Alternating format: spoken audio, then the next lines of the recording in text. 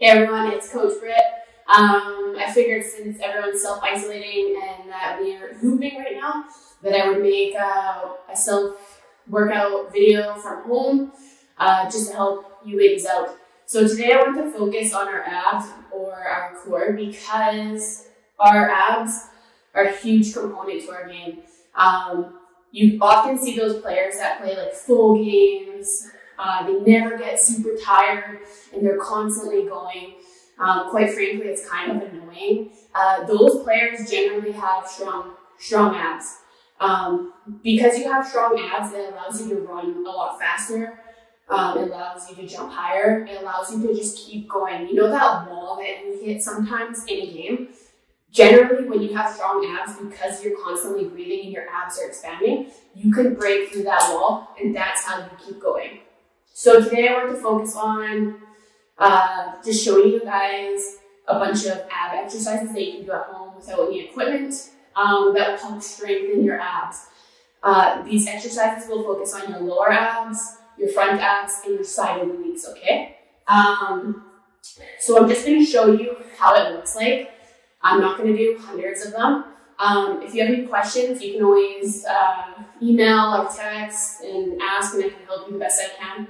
Um, I'm not a personal trainer, so I don't um, know everything about it, but these are the ones that I used uh, in high school, college, university, and now, and stuff like that. So the first exercise that I'm going to focus on is mountain climbers, and then I'm going to show you variations of it that will hit different ab groups, okay?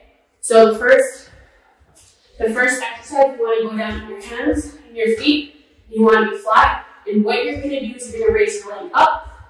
The other one, and you're just going to go like you're climbing the side of a mountain. So you, I usually go as quick as I can, like flick, like that. Um, a variation of the mountain climbers are cross body climbers, and you're going to go like this. So cross your body with your legs.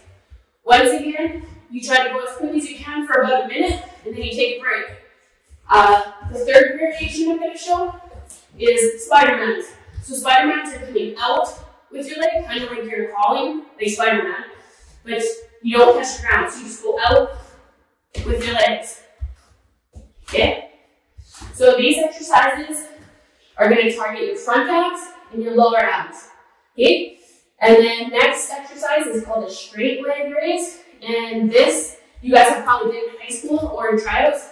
Uh, you essentially just go down like you're sit up, hands beside you, legs don't touch the ground, raise, go back down. If you have a hard time doing that, you can put your hands under your butt and go up again for a raise. Okay? I usually like do as many as I can until I'm tired and then I take a break. Um, the next one, the next two exercises are going to work on your front abs. So that's a that's a, one of the bigger groups of abs. Um, and so the first one looks, it's called a knee hug. So it's gonna kind of look like this. I'll do it facing you, and then I'll turn it to the side. So you're gonna keep your feet off the ground, right? You can cross them, keep them like this. You're gonna go out, you're gonna spread your arms, then you're gonna hug. So I kind of just like to do this. You'll feel it um, in your abs and you'll know which abs it's targeting. Okay, so here's a side view. So once again, just on my butt, legs are up, going out, coming in. So you see how I kind of lean back a bit? See, like this, versus sitting like this is not really targeting my abs. When I go back and kind of expand and come up, it does. Okay, and then now we're to focus on your obliques. Your obliques are kind of like these side muscles. They kind of go up like this.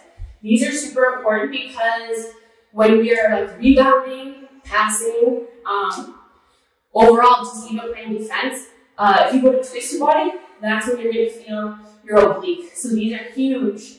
Okay, so the first one that I like to do are elbow planks. So I'm sure all of you did that. Go down your elbows, I like to hold my hands and just go like this. And I plank. So you don't want to be like this, and you also don't want to be like this. You want to be kind of, you want to be pretty level here. Um, I like to do these for about a minute. or as close as I can get to a minute. I take a break and then I go back at it again. Um, a good variation of an elbow, elbow plank is a side plank. So now I'm facing the side. If you don't have good balance, you can put your arm up. You can also interchange and go back and forth, right? So now I'm in a regular plank. Now I'm switching. Back up, plank. Okay? So now I'm going to move into um, a sit-up twist, and then I'm going to go into a Russian twist. So when you're doing a sit-up twist, you're going to sit in your regular sit-up position. I like to try to keep my feet on the mat, so I'm not bringing my feet up. And I'm to put my hands back, and all I'm to do, then I'm to go up, twist. Okay? And I'm to go up and twist. Uh, these are hard. Um, I like them because they're difficult. Um, and then the last one, which is absolutely my favorite, is a Russian twist. So I will show you from this way first, and then I will turn to the side. So this one, you're gonna go once again on your butt. I like to keep my feet up. You can either cross them like this, and all you're gonna do is focus on using those side obliques to bring, to just either do this, or what I like to do is I like to use household things. Um, so right here is a can of paint. So I'm gonna cross my feet. And I'm just gonna go one, two, three, and I'm just gonna move it from side to side. You will feel this in your obliques. If you feel it, then you know you're doing it right. So a side view kind of looks like this. So once again, up on my butt, legs up, going side, side, side, side. Um, you can use lots of different things like a milk jug. You can use, if you have a small dog, use your small dog. Uh, you can use lots of different things. Um, that's kind of what I do for abs. That's what I did when I played basketball at different levels. Um, yeah, thought I'd show you a video. Hope everything's going well. Um, I'm bored at home. I can't wait to get out and play basketball again. So uh, let me know if you have any questions.